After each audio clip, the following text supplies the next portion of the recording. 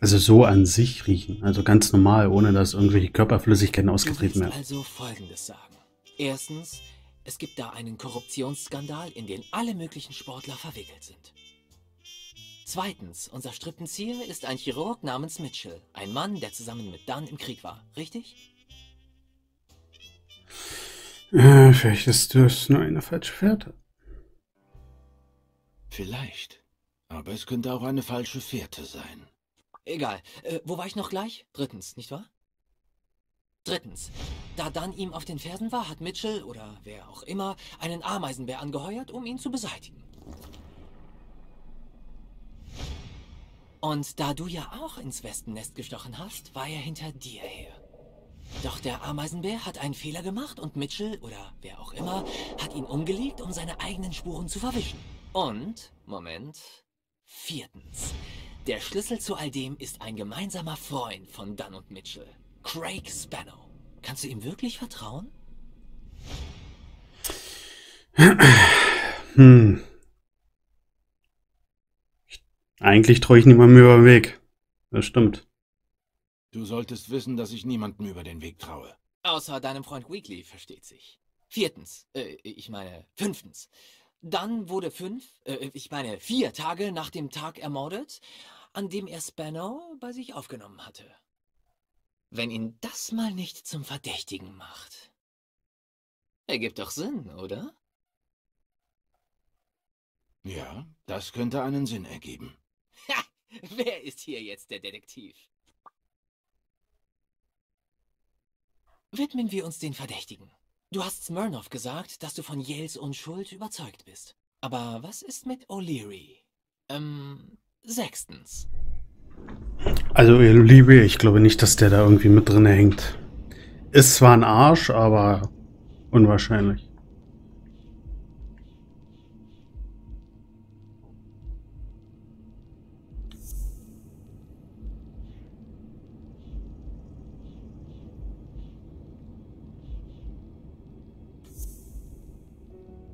Schade. Hätte sein können.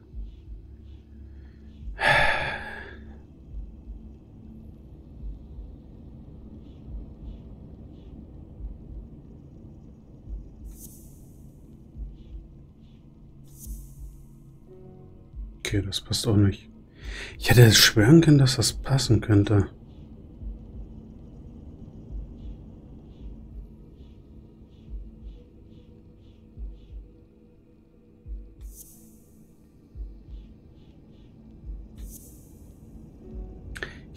Bezweifle, dass das Dings war.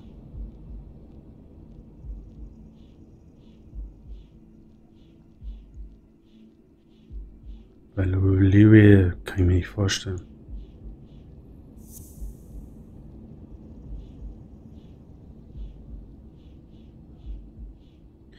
Einer von Duns Kriegskameraden hat versucht, sich als jetzt Arzt auszugeben. Mitchell, der Chirurg, könnte zentrale Figur dieses Falls sein. Hm. Ich probiere das nochmal. Nee.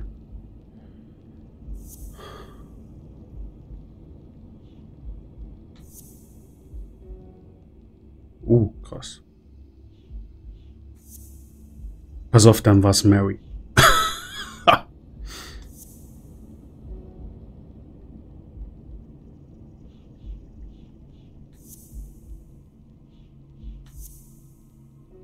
Nee, schade. Wer sein kann.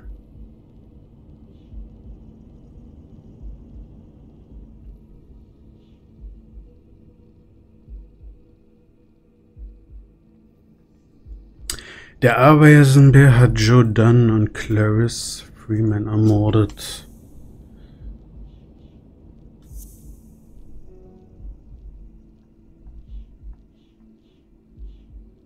Das wissen wir ja.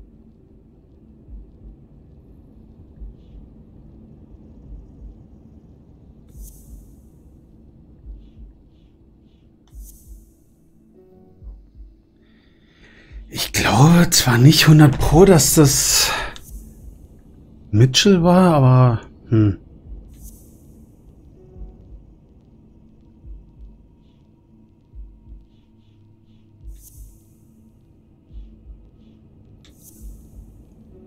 Hm.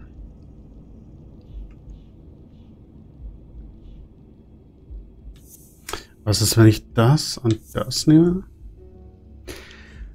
Das läuft 100 pro darauf hinaus, dass ich das hier nehmen soll.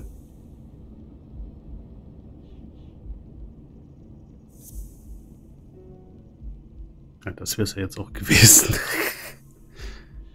Ach, wir nehmen einfach mal... Okay, das funktioniert nicht. Bleibt ja eigentlich bloß noch... Hä?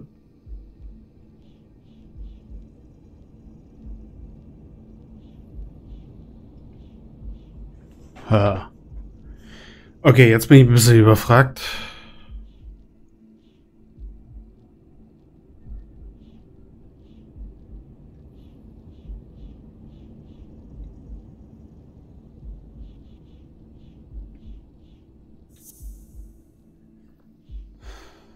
Auch wenn das jetzt nicht mit der Lüge zu tun hat. Ach, das hat man ja vorhin schon, ne?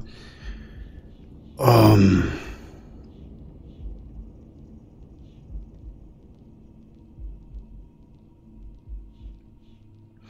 Wir haben immer noch diese...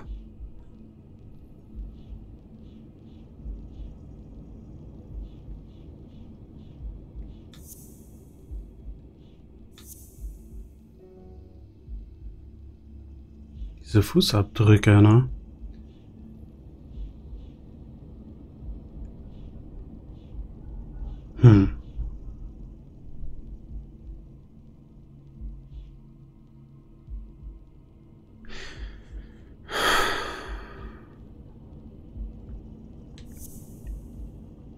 Das ging ja auch nicht, oder? Nee. Was macht denn jetzt hier am meisten eigentlich Sinn?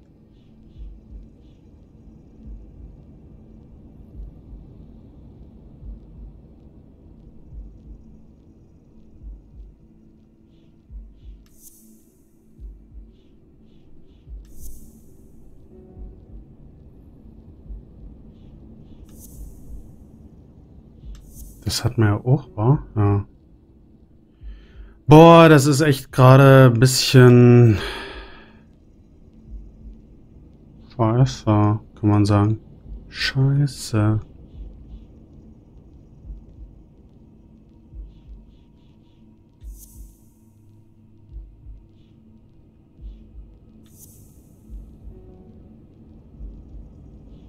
Also ich muss was auswählen, nur was nehme ich denn da?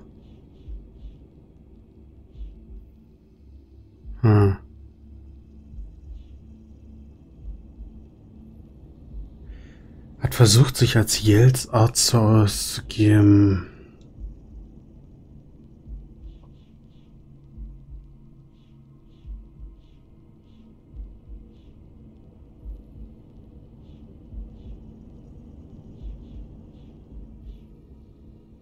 Hm.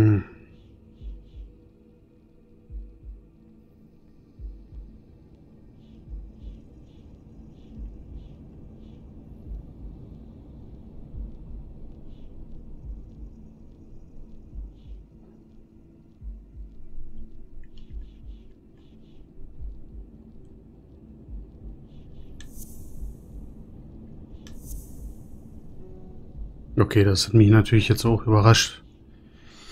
Das funktioniert da. Im Krieg waren Dan und seine Kumpel als die Olympischen Fünf bekannt. Mitchell der Chirurg könnte die zentrale Figur dieses Falls sein. Hier als Arzt.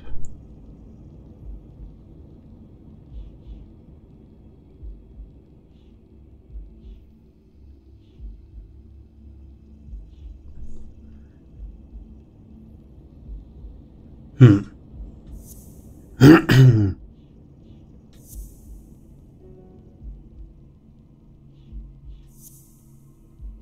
Könnte es gewesen sein, dass Randall... Äh, das Mitchell. Randall, wie komme ich auf Randall?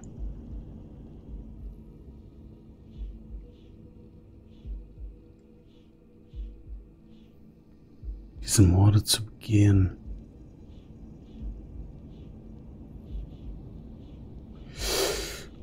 Ach, Mann. Das Einzige, was jetzt wäre, ich könnte einmal ringsrum jeden Scheiß durchgehen, aber das ist ja auch nicht Sinn der Sache.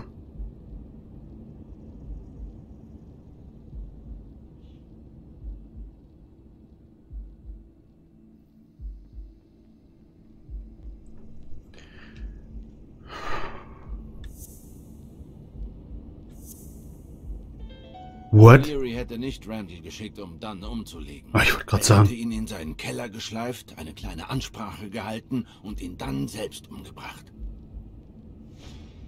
Nein, ich kenne O'Leary und er hätte keinen Killer geschickt. Er hätte die Sache selbst in die Hand genommen. Was ist mit Cassidy? Siebtens, stimmt's? Cassidy? Könnte sein.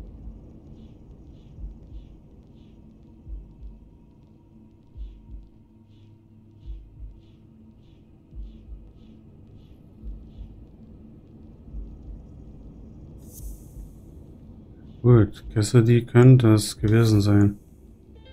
Ich denke, ich kann Cassidy als Duns Mörder ausschließen. Er scheint mir zu impulsiv zu sein, um so ein hinterhältiges Verbrechen zu planen. Stimmt, Wer war ja immer die ganze Hinterhalt. Sache geplant hat, wusste auch, dass der Selbstmord als Täuschung entlarvt werden würde. Also wurden die Spuren so gelegt, dass sie Yale belasten. Cassidy ist zu impulsiv, um so einen Plan in die Tat umzusetzen. Also, auch wenn du noch deine Zweifel hast, Mitchell ist unser Strippenzieher. Und weißt du auch warum? Weil in den Romanen der Mörder immer jemand ist, den der Detektiv von Anfang an schon kennt. Tja, in britischen Romanen mag das ja so sein. Du weißt schon, wenn grundsätzlich alle verdächtig sind, die sich in der Villa aufhalten. Doch das hier könnte ein amerikanischer Krimi sein, wo der Detektiv bis zur letzten Szene im Dunkeln tappt.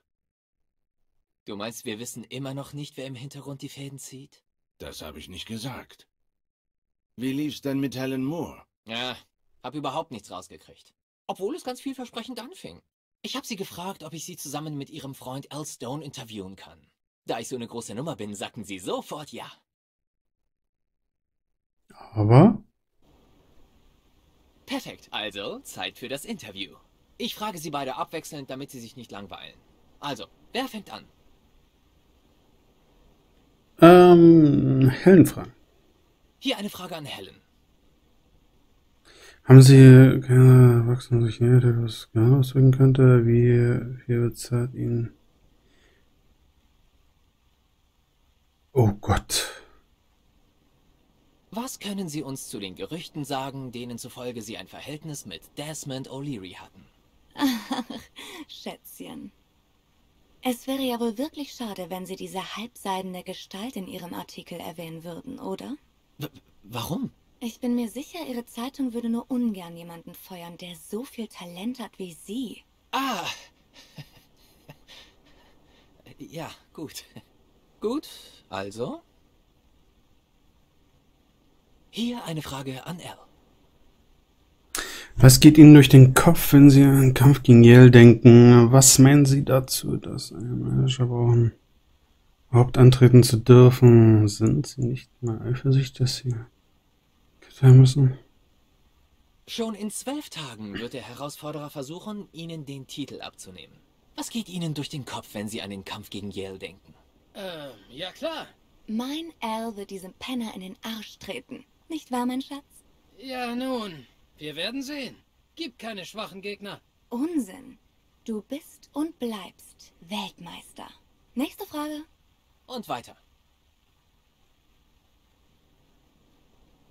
Tu mal mal beide fragen. Hier eine Frage an Sie beide. Wie haben Sie sich kennengelernt? Was halten Sie vom Sport im Fernsehen? Also was ist mit Heiraten und Kindern? Wie haben Sie sich kennengelernt? Äh, bei einer Party von Des... Al, wessen Party das war, spielt doch überhaupt keine Rolle. Wohl aber, dass ich dich da gesehen habe. Und du mich. Unsere Wege haben sich gekreuzt. Und unser Leben hat sich für immer verändert. Und jetzt? Foto machen. Zeit für ein Foto. Wie sollen wir posieren? Am besten gar nicht. Dennis gegen Boxen, Rücken an Rücken, Turteltaum. Gut. Wie wär's mit einer Umarmung? Ich will die große Liebe spüren. Ähm, mit äh, Ramses Bild ein, mit Arm hast du ein Foto. Okay.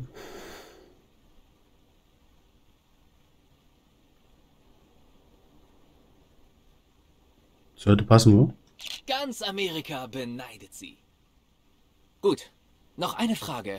Und Äh, Schatz, kannst du die vielleicht beantworten? Ich muss ganz schnell einen Fan begrüßen. Bin gleich wieder zurück, Mr. Pulitzer. Moment. Du meinst, sie hat aufgehört zu lächeln, als ein Fan auftauchte? ähm, ja, Kannst du mir den eventuell beschreiben?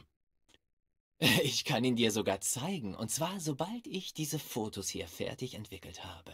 Oh, Liebe. fand es übrigens auch merkwürdig. Also habe ich, während ich Stone weiter interviewt habe, heimlich die Gelegenheit genutzt und Moore zusammen mit ihrem geheimnisvollen Fan fotografiert. Oder Mitchell. Na gut, Äh, wo waren wir noch gleich? Äh, was meinen Sie dazu, dass Sie einen Manager brauchen überhaupt? Was geht Ihnen durch den Kopf? Äh, äh, Liebling zusammenpacken. Puh. Machen wir das Foto. Augen zu, Kinn auf die Faust hoch, rechten Arm hoch. Mal sehen, was Sie davon halten.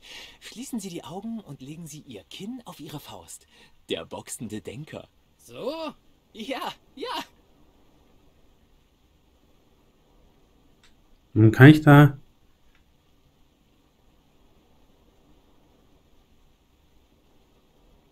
Äh. Hallo? Ah, Moment, ich hab verwackelt. Äh, so bleiben, ich mach noch eins. Was ist bloß heute mit mir los? Bitte nicht bewegen. Jetzt haben wir es. Mhm. Äh, sollen wir weitermachen?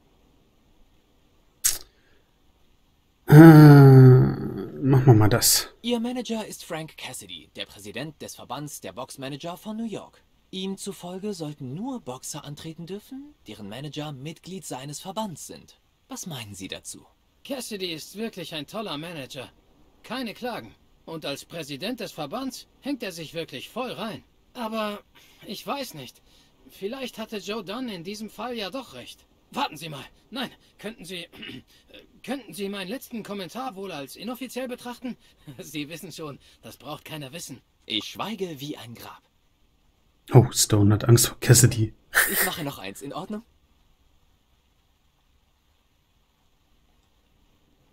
Drehen Sie sich um und zeigen Sie mir Ihren Bizeps von hinten. So? Genau. Na? Hallo? Was ist denn heute nur los mit mir? Äh, so bleiben, ich mache noch eins. Die Echse. Kriegst nicht auf die Reihe. Nicht bewegen. Wird auch Zeit. Endlich, das war's. Warte mal. Meinst du jetzt, dass die Fotos wirklich entwickelt sind oder hast du das bloß Stone so erzählt? Beides. Sieh mal hier.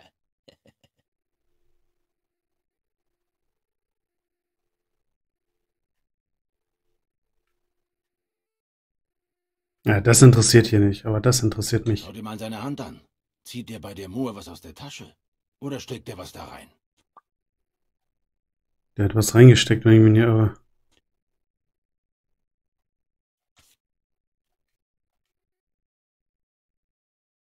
Schau dir mal seine Hand an. Zieht der bei der Moor was aus der Tasche? Oder steckt er was da rein? Ich denke eher, dass der was reingesteckt hat, und nichts anderes.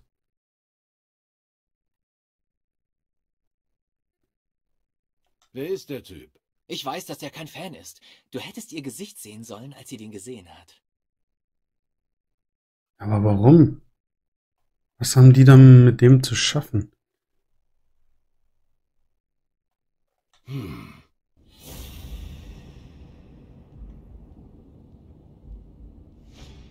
Das könnte einmal. Und dann war hier... Ah, Ich habe diese Streichholzschachtel schon mal gesehen. ja wo? Ich glaube im Pokerclub, ne? Warte mal, das ist er. Wer? Mitchell, der Chirurg. Im Ernst? Ha! Wir haben ihn. Noch nicht. Äh, äh, richtig. Wir müssen ihn immer noch finden. Hey, Meister! Hast du mir gerade überhaupt zugehört? Wir müssen uns diese Bilder weiter genau ansehen. Wir brauchen eine Spur, die uns zu Mitchell führt. Hey, siehst du? Da. Ich hab sie ja gesagt.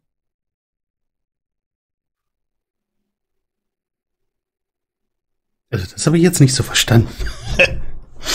Wo hat er die Streichhölzer jetzt hergehabt?